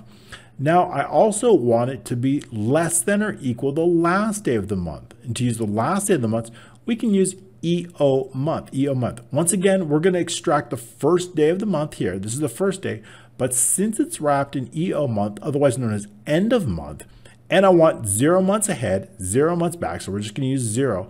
This is going to get us the last day of the month. So this is going to tell us the total order sales for invoices on the current month, which is 16,800. Okay, very good. Now for purchases, again, now I want to know the 2023 purchases or the October purchases. And that's again, very, very simple here because all I need to do is use exactly the same formulas this time. However, this one for the current year, we're simply going to change the order type to purchases and the rest of the formula is exactly the same. The same thing for the current month. Again, the same formulas I described, except this time instead of invoice, we're using purchases.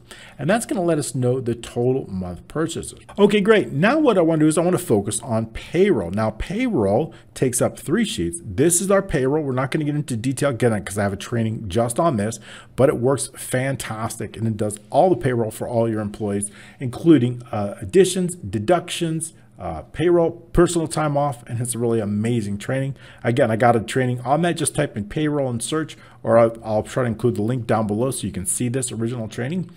Also, so this includes employees, right? We have employee database here. We have a payroll database. So it's going to include this payroll so we know the from date, the gross amount, and the net amount of the payroll, and then individual payroll items. So the individual payroll items are here.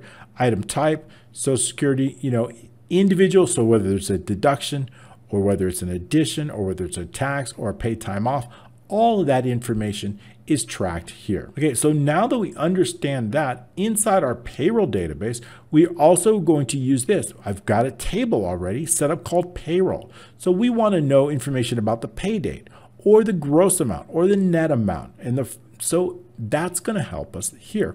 So inside our dashboard, inside our chart data here, what I want to know is I want to know the total payroll for the current year. Once again, I'm using a custom label based on the current year. And this time we're using again SUMIFs and I want to sum all the payroll gross amounts, gross amounts based on that. And I want to know it based on the pay date. Remember, these are inside the payroll. Now that pay date has to be greater than or equal the first of the year and less than or equal the last date of the year. And that is going to get us our total payroll information. Very good. So that's going to be our total payroll. So relatively easy as we see inside that. And of course, that is connected directly to here. So we have our chart data connected to P18. We have our payroll total, that formula that I just went over to P19. And that's going to come directly into here. So it's going to go directly into P19. What about other year income? Now let's going to take a look and switch our focus to transactions. So we have transactions here, which you saw, and then we have a transaction database here. So if we take a look inside this table, we see that we have a table called transactions. And of course, we have in we have a transaction date, we have a transaction amount, we have uh, account type, whether it's expense, cost of goods sold, or income. So we have three different account types. So when we go into, let's go back here, we got so many sheets on this. We go into our chart data. I really want to focus on only those income. So to do that, we are going to use, again, sum ifs, but we're going to focus on our income. We're focused on the transaction amounts of that table. And I want to focus on the transaction account type, only those for their income. And again, the transaction date this time is greater than or equal the first day of the year, less than or equal the last day of the year. That is going to determine all the income. We're going to do exactly the same for expenses, except this time based on the same table, the same amount. This time we're going to focus on expenses.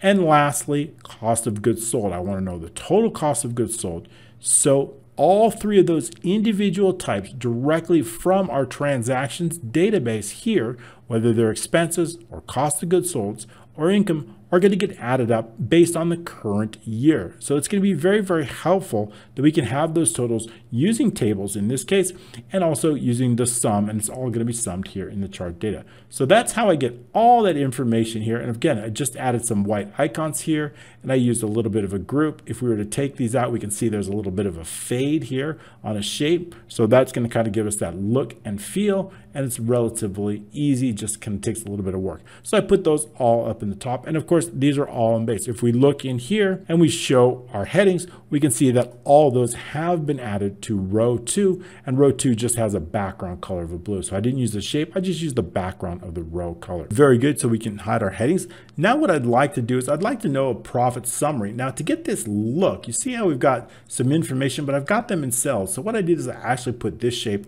over. So this is just a shape over to give it a nice look and feel, but it's actually over. So if we move this, we can get some information. Now I want to know a profit summary for the current year. Now we have some similar formulas, which we're going to take a look at. I want to know all of the invoice sales income, all the invoice sales. So we saw this previously right up here, totals. So we're going to use the same, but I want to know for the total year. So again, we're going to use the sum of total based on invoice greater than the first of the year. So this 44,000 is going to be exactly the same as this number right here. We're going to use the formula in here. I also want to know other income. Now, other income we have here. So let's, so sometimes when you relink it, we can see how it goes back. So all we need to do is just update it to the current, which I believe is 16 here, and then changing the font to white here, and then changing it to bold. Okay, great. Actually, I think it was 14 on that. So looks like it was 14. So that's all we have to do just to format those. Notice when you relink it, it's going to be changed back. Very good. Next up, other income, just as we did before, 47,305. This is the same formula as here, which we went over, which is similar. So all we're doing is we're taking the same formulas and we're bringing them in a little bit of a profit and loss summary. If I want to know the total gross income, it's simply the invoice sales times any other income that you have through the transaction. Now, to get the other income, if we want to, how do we add that other income? Well, that's going to be through transactions. So when we add a new transaction, we can add any. So if we have an income, let's say we have uh, rental income. So these are income accounts here. So that's how we would add the other income. And that's how the information, these other income gets inside this database here. So what I want to do is I want to add all of those other incomes up and that's going to happen inside our dashboard here. So total gross income, again, is simply the total income sales times invoice sales. And then next up, I want the period payroll. How do we, again, we're going to add the payroll as we remember correctly. 2023 payroll, we have it here. It's the same number here. Certainly we could link it. We just put in the formula one more time. We went over that formula again. I want to know the total purchases. So this is based on those total purchases, just as we did up here. Now we're going to put it here. And I want to know the cost of goods sold. So these are going to be the cost of goods sold based on that same formula.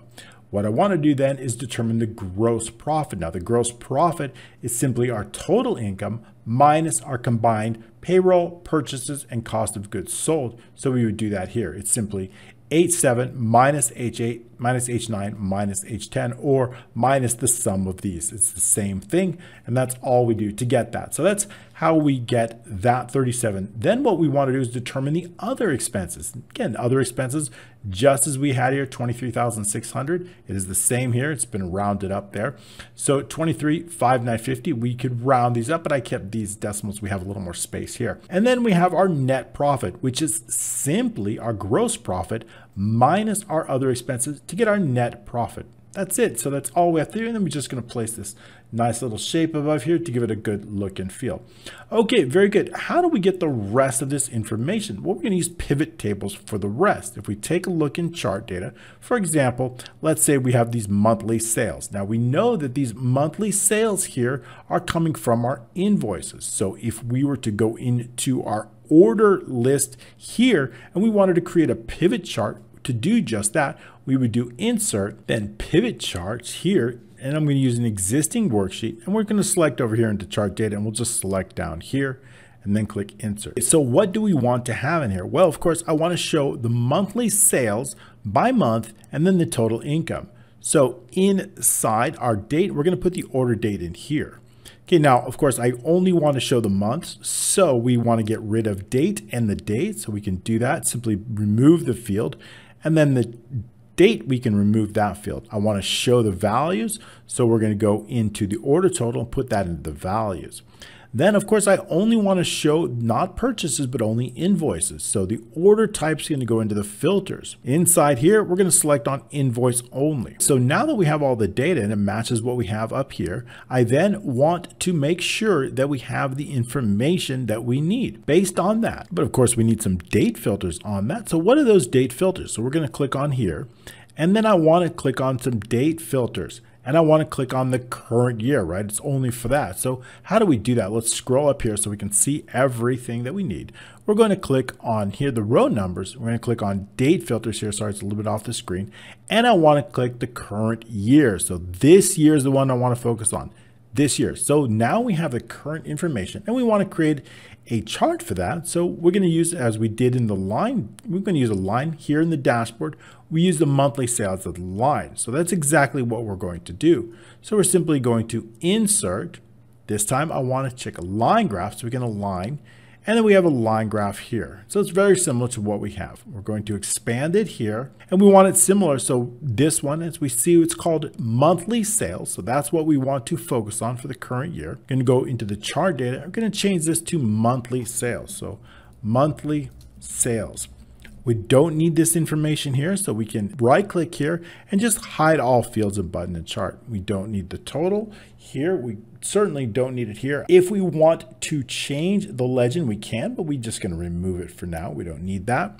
Also, these grid lines here, we can remove that we can show those inside our dashboard. I chose to just show a few numbers if we want to because it's very small. We don't have a lot of space on that. So when we drop it down here, I would like all the font to change colors. So we're going to go into the format and all the text fill is going to be our blue color here. That's going to change it all.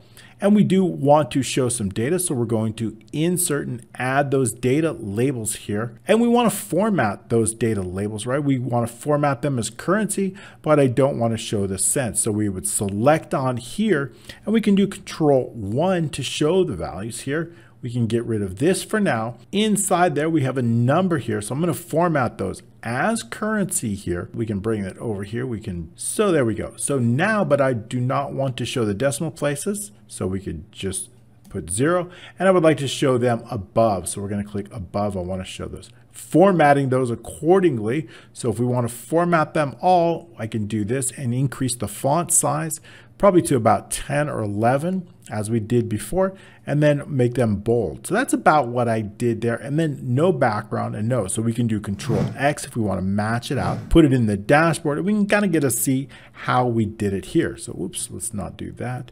Let's select on something other than that. Just here is fine. And now we can do, gonna paste that in there to get an idea of exactly how we reach that. Expanding that a little bit here, bringing it down here just so we can match what we have. There's no background or no fill, so we're going to format that. I'm going to put the shape fill as no fill. We also want no outline on that. And that's pretty close to what we have. It's a little bit this on top of each other now, but we can see exactly how we created this and I can delete that now. Also, we just have a custom background behind it. So here's that custom background that's behind it. If I moved it over, we can see what that is. And it basically in this background here that I created, it's just a shape here. So if I were to insert this shape here and wanted to create a similar background, I would just enter a rounded corner shape and then I would give it a fill. This is a gradient fill. Now, if we take a look, it's already set to that gradient fill. If we take a look at it, we've chosen a blue color, and this particular blue color has a transparency of 46, or let's say 50%. This one, white color, has a transparency of 62%. So that's how I was able to get this. And of course, no lines on that. So when you select line, then we do not want any line on that. So that's how I got the background. And we just want to make sure to move it to the back. So when we select shape format, we want to make sure it's sent to the back. That's going to send it behind everything, and that's what we want. Okay, we can delete that. We're done working with that. So that's how we created this very cool background. We can just move that directly in back of the graph that we've created to give it a nice look and feel. Now, Other data is also, we don't need to create these pivot charts for every single since we now see, we, if we want to delete it, I'm just going to select on here and press delete. We're good to go. We can remove it and we can remove that. We don't need that. So we have ones for gross payroll. If we take a look at that, we want to see what that looks like. We can go into the pivot table and we can see in our field list and take a look at this one. We've created a pivot chart. This is directly from our payroll. So we want the pay date. Again, we're going to show the pay date. I want to show the months. Again, we can remove this, the dates.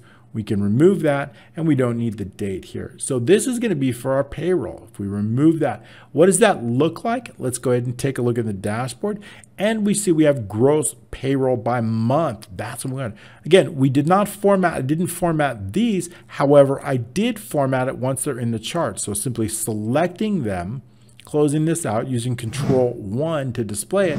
And we're using the formatting, I'm using this number formatting currency and zero to get that formatting. Everything else is formatted the same, pretty much the same how we got that. Okay, great. Let's take a quick look. So we've been over those and I want to show you how we get these very cool donut charts. We've got invoice by status and we have purchase order by status. We've also added slicers so that we can remove the slicers if we want to, and they're going to cover. So this is kind of nice, although I don't use slicers too much. This data is kind of basic, but it's it gives you an idea. If you'd like to use slicers, we can save a column for that to do that. All right, so these pie charts, where does this data originate from? Well, we see here, excuse me, these donut charts here. Inside this, we've got here expenses by type, here. And we also have information here by, this is actually should be income by type, not expenses, salary, rent, and freelance work. These are all income. I just didn't change it. I copied and pasted, but this is really income by type. And how do we know that? Because we see the filter right above it here, income. These are should be expenses. Uh, you could include cost of goods sold and expenses. Both of these, I would like to do that. So these are expenses basically based on uh, cost of goods sold and expenses. This one's based on income. So the filter is based only on those incomes. So these are very much the same. Both of these will then break down the information based on the type. So when we select a field list, we see that the account types in the filter, the transaction accounts in the rows, and we have the sum of the amount. So that's going to very easily total our expenses. We can then create a bar chart just as we did before in the dashboard. We can focus on these. These are the bar type, other expenses by type, and income by type. I'm going to focus on that. Inserting those bars, we would just simply insert here, and then we want the bars, which are right here. So this 2D bar chart, and that's how we're going to get both of these expenses by type Again, removing this, removing all the fields here. We could update the total, changing the font just as we did, setting all the font to that blue color, and then making the updates accordingly. We would want to set here, we want to set, the data labels here, which we have, adding the data labels, and then formatting that just as we did before. We would remove all the fields here, hide all the buttons on the chart. We don't need that. And this would be the expenses by type, exactly as we have them right here. Just updating that. And the other income by type, exactly. So these are the two bars. Now we can get into both the invoice status and the purchase order status moving along inside here. So these two would come directly from here. Invoice by status and purchase orders. So we have a very, very similar. We can remove this now. We see how we created that. Here, invoice by status. Again, this one, we're going to use the pivot chart here Inside this, we can take a look at the fields here. We have order type, right? We only want to know in the order type the invoices. So our filter is only those invoices. We only want to know the invoices, the status of those invoices. So our rows are going to be status. We're going to just want the count. I only want to know the number, only focused on the number of closed or the number delivered, ordered, paid, or pending. So we want simply a count, right? I'm only counting those. How to do that? Well, we would just select here and we only want to know the count of those. So the value filters here, we, we don't have any filters on here. However, Simply double clicking here will tell us the count. So sometimes we use sum. This time we're using count. Count is all we need to do. And I just want to count the totals. This one, of course, into a donut chart. If we want to create that, we would insert a donut chart here, selecting on the pie, and donut's the one we want to use. Again, we're not going to display. We don't need to hide. We can hide all the field buttons on the chart. We don't want the legend. We can delete that and select on that. I want to change the colors. We can easily change the colors here. Going to colors and changing that to a blue theme. We also would do control one here. We want to add more information. In my one, I did not have any lines on that, so no lines. And I also put a shadow onto that, slight shadow onto that. Not the not the group itself here, but the actual individual one. So let's control Z. This is where we wanted it. So this is where we had our shadow. No lines on this. And then this one is where we would put our shadow presets here and then we can reduce that a, little bit. And also I put a little bit of a 3D format on that, which is right here. So the 3D format would be here. So we added, but not quite that much. So just a slight bevel on that. And that's basically, and also the data labels on that. Adding those data labels, simply right click in here and then adding those data labels. If you want to see the categories and we want to show that outside in, we could do that just by bringing them over here. We can bring them out and we may want to show the categories too. If we want to show the categories, we'd select on here and we would select on the label option and show those categories. And then of course we would just format them. We want to give them all the same color and then we would just update that. So that's and also the donut hole size. We use a smaller size, so about right here. That gives you a good idea of exactly what we did to create the donut. Both the donut would be for the invoice by status and for the purchase order by status. That's where we arrived right here on both of these. Very, very cool. So we show you the bars. We've got the donut charts. We've got the bar charts. And lastly, I just wanted to show you the payroll items by type. We just use a simple pie chart for that inside the chart data here. And here we have our payroll items by type. So how do we get this? Again, one more with a pivot. If we go into the pivot table here, we go into the field list, we see based on our payroll table, we've got pay date. We're filtering. I want to know the payroll. Our dates are all dates, but we can filter down. We Maybe we want the current year. If we want to set all pay dates, we can easily filter it. And also the payroll items, we got deductions and additions. If we want to add uh, PTO and tax, we could, but I only want two. I only want to show those deductions and additions as payroll types. We may also want to filter by the date, so we can do that as well. These are going to show, and then we also want to know the sum. Again, I did not format these. However, I did format them here. So we created a pie chart, so they were formatted here inside the pie chart. To create the pie chart for this, we would just simply insert a pie chart here, uh, 2D pie chart here, and that's going to insert that. Okay, and then we would format it exactly the same, right? The formatting of the donut, it's almost the same. So we've been over how to format that. So pretty much adding the labels and doing, we don't need to repeat the process again and again. But that gives us a great idea of how we were able to create this incredible dashboard. Well, this has been a really, really incredible training because in this incredible ultimate ERP application, we were able to show you how you can create applications very fast by using uniformity and quick VBA code simply by copying and pasting and replacing the code. And we did the same thing, that same principles, whether we're for employees or for customers or anything else. Let's go ahead and hide these columns.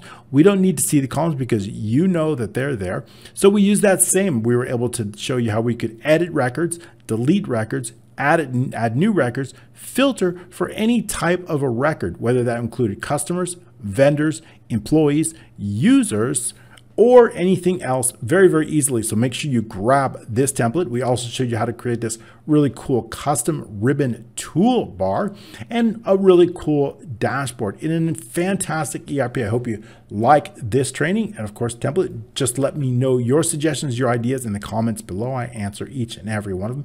If you want to learn how to create incredible applications, designing, defining, deploying your own Excel-based applications while I create an incredible accounting application, I'm doing that in my mentorship courses. It is a fantastic 132 hour deep dive into how to create these incredible applications so that you can sell them for passive income or create or start your freelance career. And that is through the mentorship program. I'll include the link down below. Thank you so much for your continued support right here on this channel. Don't forget to subscribe, like, and comment below. Thanks so much, and we'll see you next week.